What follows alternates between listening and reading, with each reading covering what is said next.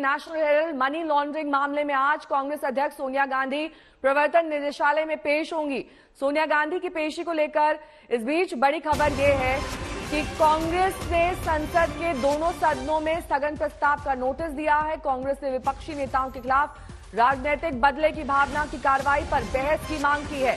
सोनिया की ईडी में पेशी से नाराज़ है कांग्रेसी और कल ही संसद सड़क पर विरोध प्रदर्शन की योजना बनाई जा चुकी है। सोनिया गांधी जब ईडी में पेश होंगी तो कांग्रेस के सांसद, विधायक, मुख्यमंत्री और बड़े नेता कांग्रेस मुख्यालय से ईडी दफ्तर के लिए कूच करेंगे। कुमार कुणाल मेरे सहयोगी जुड़ गए हैं तमाम जानकारी के साथ। कुणाल, देखिए पिछली बार एक व्यापक तरीके से प्रदर्शन किया गया था। ज़ाहिर तौर पर इससे सबक लेते हुए आज सुरक्षा और सख्त रहेगी और मामला अब तो अध्यक्ष का है। इसको लेकर कांग्रेस की और बड़ी तैयारी है। कल ही प्लानिंग कर ली गई थी। देखिए, पिछली बार से जो हमें अंतर दिखाई पड़ रहा है, वो ये था कि पिछली बार लगभग अपनी रणनीति कांग्रेस ने ज़ाहिर कर दी थी कि किस तरीके से वो कूच करेंगे, कहाँ करेंगे। इस बार थोड़ा अंडर कवर रखा गया है। हालाँकि जो कार्यकर्ता हैं, वो अभी दफ्तर के अंदर पहुँचे हुए हैं। आप देख सकते हैं कि किस तरीके से लगातार नारेबाजी चल रही है यहाँ पर कांग्रेस के झंडे बैनर के तले। क्या कुछ इन लोगों का कहना है? आप लोगों का क्या कहना है? क्यों इस तरीके से जो आपकी नारेबाजी है आगे भी क्या आप जाएँगे ईडी तक जाएँगे? क्या आपकी प्लानिंग है? देखिए, अभी तो ये जो नारेबाजी है, हम कार्यकर्ता कर रहे हैं, पूरे देश के अंदर जगह जगह हर राज्यों में इस तरीके की जो हमारे लीडर सोनिया गांधी जी को ईडी के माध्यम से तंग करा जा रहा है, ये लड़ाई संसद से लेके, सड़कों से लेके, संसद तक चलेगी गाँव गाँव चलेगी। तो सड़क से संसद तक लड़ाई की तैयारी है, लेकिन बात यह है कि दस बजे एक प्रेस कॉन्फ्रेंस होगी। अशोक गहलोत यहीं पर, अभी से थोड़ी देर के बाद एक प्रेस कॉन्फ्रेंस करेंगे।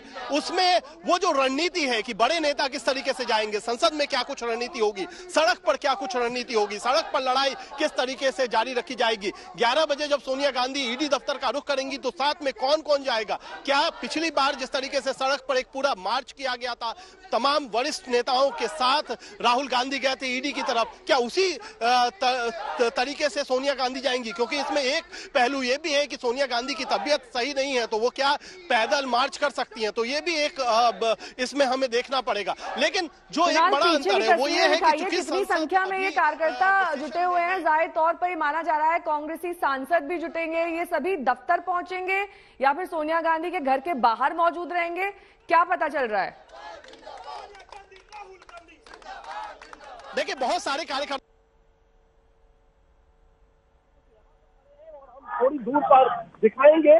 कि जो सेवा दल के कार्यकर्ता है, वो भी इकट्ठा हो रहे हैं, वो भी कुछ दूरी पर इकट्ठा हो रहे हैं। तो ये दो तस्वीरें हैं जो कि अभी हम आपको एआईसीसी हेडक्वार्टर के ठीक अंदर से आपको दिखा रहे हैं कि दो जगहों पर अलग अलग तरीके से कार्यकर्ता जुटना शुरू हुए लेकिन एक जो बड़ी बात है, जो पिछली बार हमें दिखाई पड़ रही थी कि बड़े सीनियर नेता पहले से आ गए थे आईसीसी हेडक्वार्टर वो यहाँ से पूरा जो नेतृत्व हेडक्वार्टर वो यहाँ से पूरा जो नेतृत्व है वो कर रहे थे। अभी तक कोई बड़ा नेता यहाँ नहीं दिखाई पड़ा है। रात में मीटिंग हुई है बड़े नेताओं की, लेकिन अभी कोई बड़ा नेता यहाँ पर हेडक्वार्टर के अंदर नहीं दिखाई पड़ रहा है। तो जो रणनीतिक मीटिंग है, जो स्ट्रेटेजिकली मीटिंग है, वो पहले हो चुकी है। अब 10 बजे के प्रेस कॉन्फ्रेंस का इंतज़ार है, क्योंकि तमाम जो मुख्यमंत्री हैं, कांग्रेसी स्टेट के, चाहे छत्तीसगढ़ के हो, या फिर राजस्थान के मुख्यमंत्री हो, वो यहाँ पर भी आएँगे। अशोक गहलोत खुद प्रेस कॉन्फ्रेंस को संबोधित करेंगे। तो क्या कार्यकर्ताओं को